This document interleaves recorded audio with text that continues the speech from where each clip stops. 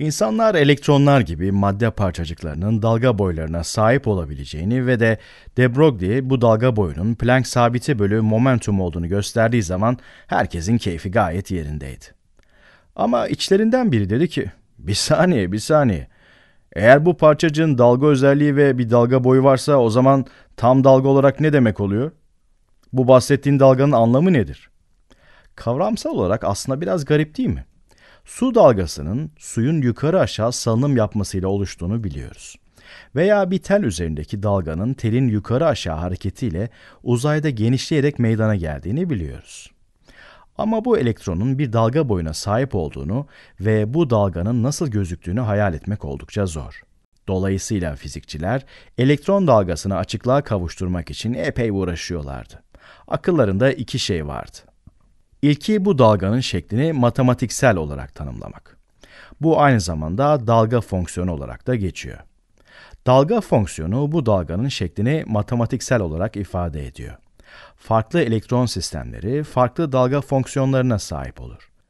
Bu sembol Yunan harfi psi olup bu sembolü dalga fonksiyonunu göstermek için kullanıyoruz. Yani bu psi sembolü ve x'in bir fonksiyonudur x ekseni üzerinde farklı noktalarda büyük veya küçük değerler alabilir ve bu fonksiyon sayesinde dalganın şeklini matematiksel olarak bulabiliriz. Şimdi bu bulmak istedikleri ilk şeydi. Ama aynı zamanda bu fonksiyonu yorumlayıp fonksiyonun ne demek istediğini anlamak istiyorlardı. Dolayısıyla ortada iki problem vardı. Dalgayı matematiksel olarak ifade etmek ve bu dalganın ne anlama geldiğini yorumlamak. Bu dalganın matematiksel olarak ifadesini bulan kişi Erwin Schrödinger'in ta kendisiydi. İşte karşınızda Schrödinger. Schrödinger aynı zamanda görmüş olduğunuz bu denklemi yazan kişi. Günümüzde artık ismi kuantum mekaniği ile eş anlama sahip. Çünkü bu denklem kuantum mekaniğindeki en önemli denklem olarak kabul ediliyor. Denklemde birkaç kısmi türevli ifade ve Planck sabiti var. Ama burada önemli olan içinde dalga fonksiyonunu barındırıyor. Eğer daha önce kısmi türev veya kalkülüs öğrenmediyseniz merak etmeyin. Bu videodaki amacımız için yalnızca bu denklemin dalga fonksiyonunu matematiksel olarak ürettiğini bilmeniz yeterli. Peki, bize bu dalganın şeklini x'in bir fonksiyonu olarak veren bu fonksiyon nedir dersek, tahmin ettiğiniz gibi bunu bir grafik üzerinde gösterebiliriz. Bu denklemi x'in bir fonksiyonu olarak psi için çözdüğünüz zaman dalganın neye benzediğini görmek için grafik üzerinde çizebiliriz. Belki şu şekilde gözüküyor olabilir veya kim bilir çok farklı bir şekilde de gözükebilir. Böyle bir şey de olabilir. İşte bu dalga fonksiyonunu elde etmek için Schrödinger'in denklemini kullanmak zorunda olduğumuzu unutmayalım. Tamam, Schrödinger bize dalga boyunu matematiksel olarak ifade etmek için bir yol buldu. Ama biz bir de bunu yorumlamak istiyorduk. Bu dalga fonksiyonunun elektronlara ait olduğunu söylememiz hala garip geliyordu ve bunun ne anlama geldiğini bulmamız gerekiyordu. Schrödinger bu soruya şöyle bir yorum getirdi. Belki de bu elektron uzayda bulanık bir duman olarak bulunuyordur ve yükü farklı bölgelere dağılıyordur dedi. Schrödinger bu dalga fonksiyonunu yük yoğunluğu olarak yorumlamaya çalıştı. Ve bu düşününce aslında mantıklı bir açıklama değil mi? Su dalgası oluşması için suyun uzayda dağılması gerekir. Aynı şekilde elektron dalgası oluşması için de belki elektron yükünün uzayda dağılması gerekir. Ama bu tanım pek o kadar işe yaramadı. İlginç değil mi? Schrödinger denklemi buldu ama ne bulduğunu doğru bir şekilde yorumlayamadı. Ancak Max Born adında başka biri hala günümüzde kullandığımız doğru yorumu yapabildi. Şu şekilde bir yorumda bulundu. Hayır arkadaşlar bunu yük yoğunluğu olarak düşünmeyin. Bu pisi bize elektronun uzayda belli bir noktada bulunma olasılığını verdiğini düşünün. Yani Max Born'un dediği şey. Schrödinger'in denklemini kullanarak pisiyi bulun. Pisiyi bulduktan sonra mutlak değerini alıp karesini alın ve bulacağınız bu sonuç size elektronun belirli bir noktada bulunma olasılığını verecek. Teknik olarak aslında olasılık yoğunluğunu bulmamızı sağlar. Ama şimdilik bunu elektronun belirli bir noktada bulunma olasılığı olarak düşünebilirsiniz. Yani eğer bu bizim dalga fonksiyonumuzsa, Max Born'un bize demek istediği değeri sıfır olan buradaki noktalarda elektronu bulma olasılığımız yüzde sıfır.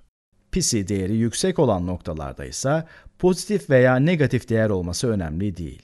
Elektronu bu noktalarda bulma olasılığımız gayet yüksek olacak.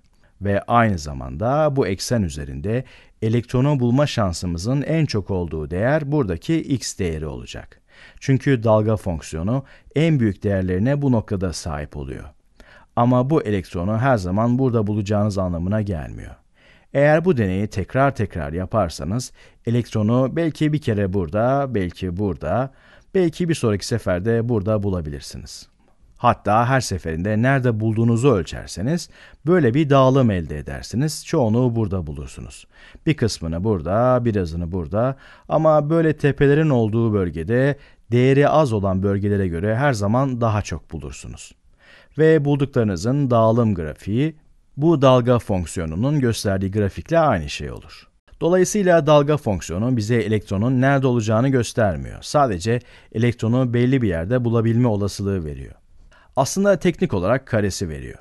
Grafikte dalga fonksiyonu negatif değer alsa da olasılık negatif değer alamayacağından karesini alırız. Bulduğumuz sonuçta bize o bölgedeki elektron bulma olasılığını verir. Şunların hepsinden bir kurtulalım. Diyelim ki mesela bir Schrödinger denklemi çözdük veya birileri bize bir dalga fonksiyonu verdi ve bu şekilde gözüktüğünü söyledi. Bize elektron bulma olasılığımızın en yüksek olduğu yeri sormuş olsunlar. Şimdi dalga fonksiyonunun değerinin en yüksek olduğu nokta burası. O yüzden elektronu bulma ihtimalimizin en çok olduğu yer buradaki bölge olur. Bu noktada hiç bulma ihtimalimiz olmaz. Bulma ihtimalimiz bu bölgede veya bu bölgede oldukça yüksek olur. Ama bulma ihtimalimiz en yüksek bu bölgede gerçekleşir. Bu ölçümü birçok kez tekrar etmeniz gerekir.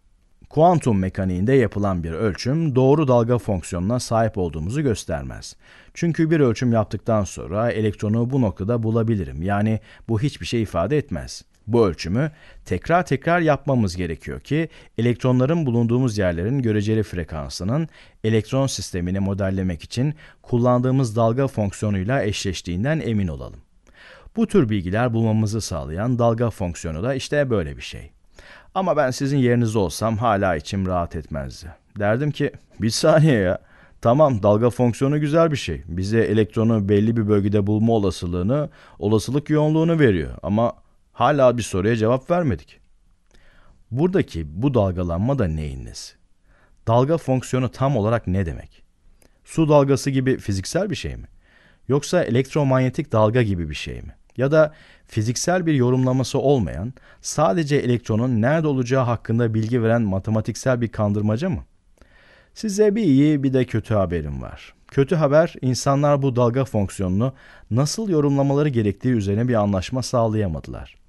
Evet, fonksiyonun karesinin elektronu belli bir bölgede bulma olasılığını verdiğini biliyorlar. Ancak bu noktadan sonrası için nasıl bir yorumda bulunmaları gerektiği konusunda hala bir uzlaşmaya varabilmiş değiller.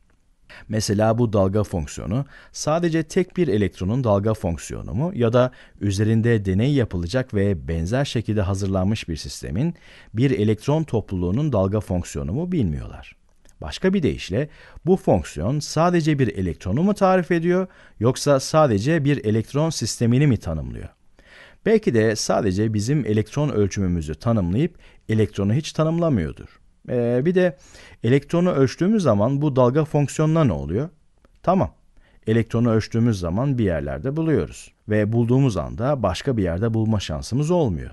Dolayısıyla elektronu ölçme eylemi dalga fonksiyonunda Schrödinger denkleminde tanımlanmayan feci bir çökmeye mi sebep oluyor? Bu ve bunun gibi sorular üzerine tartışmalar devam ediyor ve hala tam olarak anlaşılabilmiş değiller. Bu kötü haberdi. İyi haberse ilerleme kaydetmemiz için bunu anlamak zorunda değiliz. Ölçümlerin olasılığını bulmak için dalga fonksiyonunu kullanmayı herkes biliyor.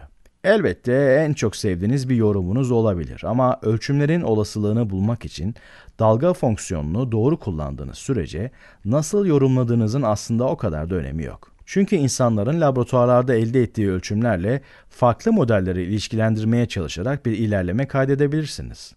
Bakın, bu dalga fonksiyonuna dair yapılan yorumların önemsiz olduğunu söylemiyorum. İnsanlar 100 yıldan daha uzun bir süredir bu cevizi kırmaya çalışıyorlar ama henüz kıramadılar. Belki aslında zaman kaybıdır veya zorluk seviyesi o kadar yüksektir ki bunu çözen kişi tarihi adını tüm zamanların en önemli fizikçisi olarak yazdıracaktır.